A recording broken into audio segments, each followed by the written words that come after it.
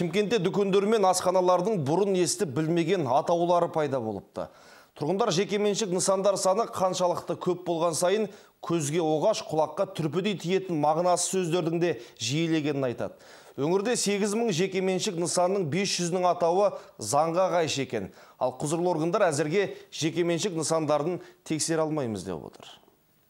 Кафе, мафе, пицца, мицца, мәнтіхана, шашлыкстан секілді атаулардан бөлек, мемлекеттік тіл туралы заңдылықты бұзатын атаулар мен жарнамалардың көбейгені жергілікті тұрғындарды да мазалай бастаған. Мұны ғалымдар қазір құндылықтардың құнсыздануы деп атай бастады дейді Шымкенттік ұстаз Сағынбек аға. Мысалға бір кафе бар, сыты папа дейді. Ол не? Ол бір түрлі ерсі сияқты. Немесе у Лариси дейді. У Лариси, у Ксюши деген сияқты аттар бар.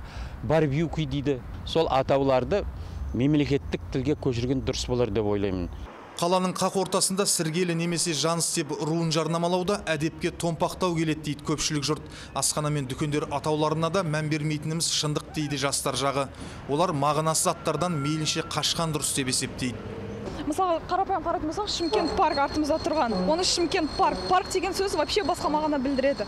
Ал олар қоя салады. Тағы кейбіреулер байқайтынымыз өзінің ата анасының мысалы өзінің руын ол менің ойымша ол мақтангершілік болып табылады. Себебі мысалы асхана болатын болса асханаға лайық тамаққа лайық ат қою қажет. Енді әрине бренд болған атаулар өз атауында қалса ал бірақ көбінесе жаңағыдай жеңіл атаулардың осы қаламызда көп, көптеп болмаса екен деген ойым бар.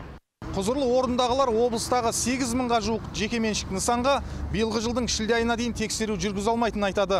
Талдау қорытындылары олардың 500-ге жуығының атаулары заңға қайшы екендіктерін көрсеткен.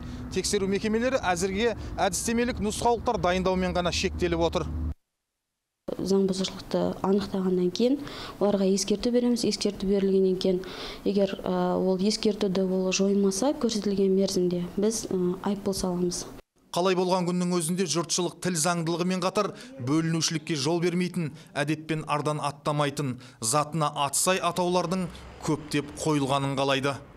Ерлан Қуандықов, Ержан Сейдәзімов, Информбюро 31 арна, Оңтүстік Қазақстан облысы.